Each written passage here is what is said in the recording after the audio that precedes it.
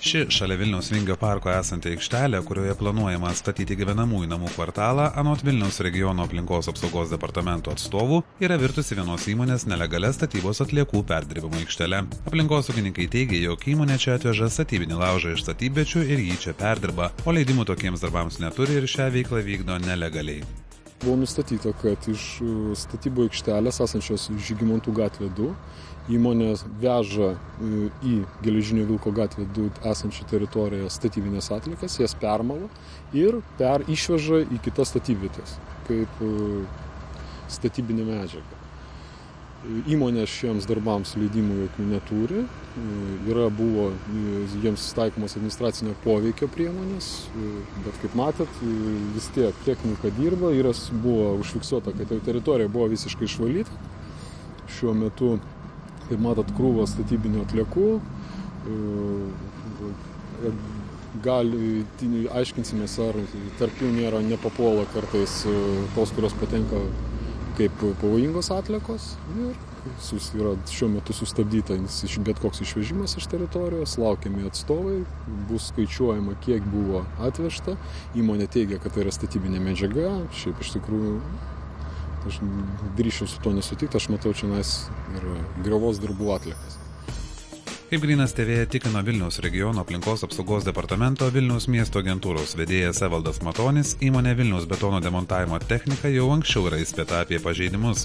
Bendroviai buvo taikytos administracinio poveikio priemonės, surašyti protokolai ir duoti privalomi nurodymai nevežti čia statybinių atliekų.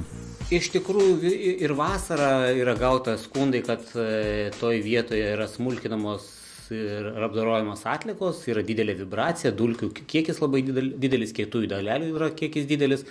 Mes atlikom kontrolinius patikrinimus, nustatėm kaltus asmenys, patraukėm administracinę atsakomybę.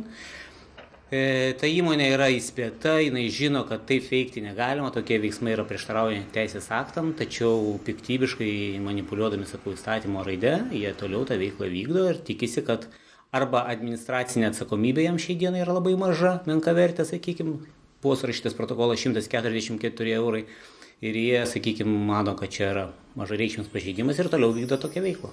Kalbintas įmonės direktorius Vytautas Masalskas aiškina, kad jau čia perdėta aplinkosaugininkų kišimas į jų vykdomą veiklą, o kaltinimus vadina skirtingo požiūrio klausimu. Žygimantų gatvės susmulkinta produkcija, mes atsivežėm čia, čia turim sijojimo įrenginį, tenais nėra daug labai vietos šitagi ir atsivežėm čia mašinas su susmulkinta skalda, šitagi tai yra plytų ir skaldos mišinys, kurį čia paimam ir sijojam. O tai jūs tos leidimus turit, nes jie sako, kad jūs tų taršos leidimų neturit. E, jų, e, tai čia va jau yra požiūris skirtumas. Ar tai yra atlieka, ar tai yra pusfabrikitas. Čia... Mes esame atlikų tvarkytojas, įstatymo tvarka mes turim nuspręsti. Pas mus susidarė atlikos.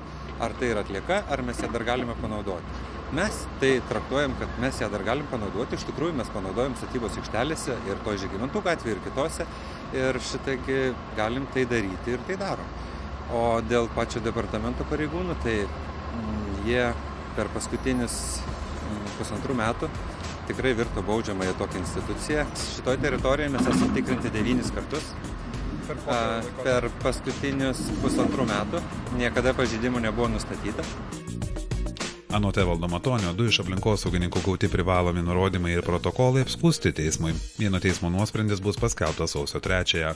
Po naujausio užfiksuoto pažeidimo įmonė grėsia ekonominė sankcija iki 8 tūkstančių eurų.